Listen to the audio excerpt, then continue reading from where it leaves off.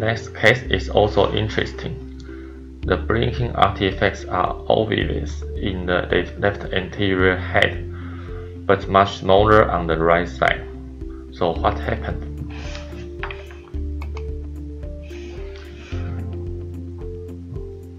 Actually, the patient had eye injury on the right side, hence the dipole was decreased.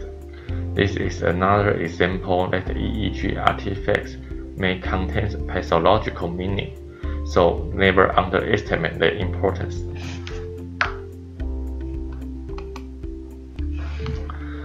Eye opening sometimes may induce muscle artifacts, especially in the frontal region, possibly due to simultaneous activation of the frontalis muscle.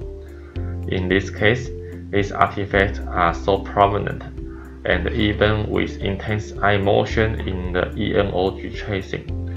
Indeed, the patient had eye pain and was difficult to open his eye.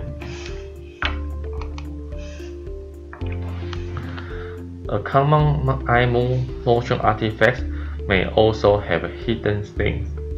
Please notice the alpha region is not disrupted by this frequent vertical eye motion.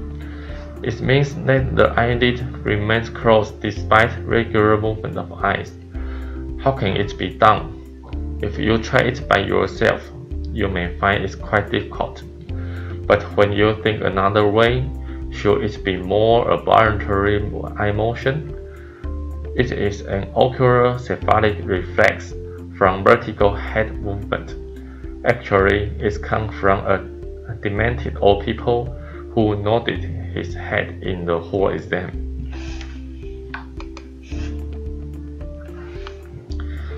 Case 7 is a more ideal EEG. Ideal means the abnormalities is what we usually expected to see in a EEG.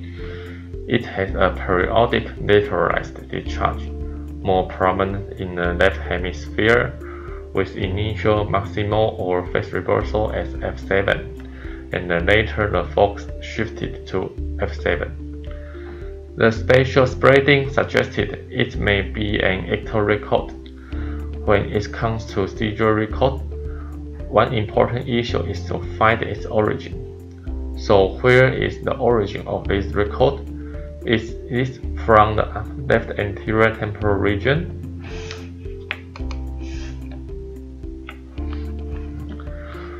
When we move to the previous epoch, this, the sharp waves are not so obvious and there were only some periodic slow waves in the left parasagittal region. But if we move a little bit earlier, here are one interesting event. We can observe a rhythmic discharge from the third second. The opposite phase in both EOG tracing indicate that there are eye movements in a quite rapid frequency. This is what we called eye blinking, eye blinking aura before, but now we know it is also a non-convulsive presentation of ictus. Because we notice this eye blinking, we judge the later occurs period discharge were not ictal origin. When we see her head image, there was a lesion in the left insular region which was more likely to be criminal. Again, artifacts are important even in analysis of, the, of seizure.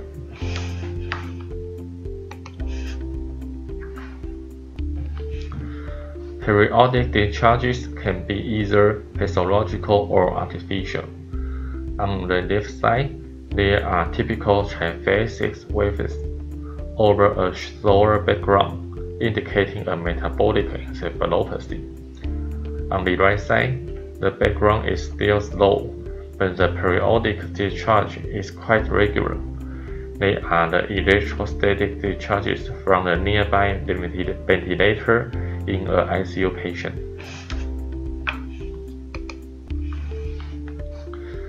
Another ventilator-related periodic artifacts are shown in the left picture. The regular spikes upon the delta waves are unlikely to be physiological. The middle picture is from a cardiac arrest patient who had a hypoxic ischemic encephalopathy. The right one is the well-known delta brush from a patient with NMDA encephalitis.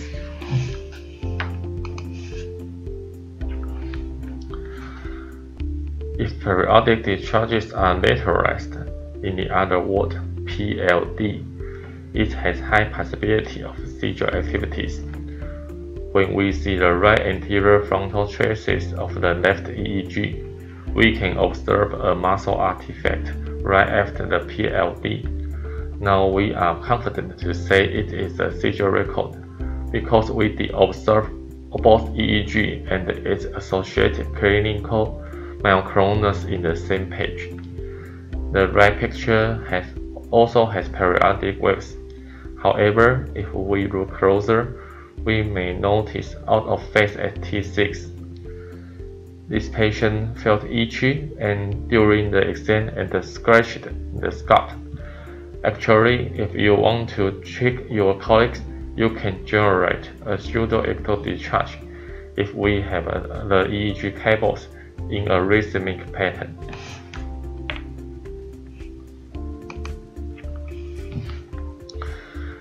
This is the first report of case 9. Look astonished. The PLD almost made us decide to diagnose an epilepsy. But wait a minute. Do you see the montage? It is a A1A2 referential montage.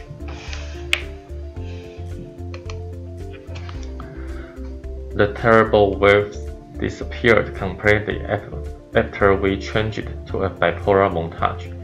The periodic waves were generated from A1. This artifact is caused by the repetitive swallowing behavior in a patient with Fragile X syndrome. I think it may be some kind of tics.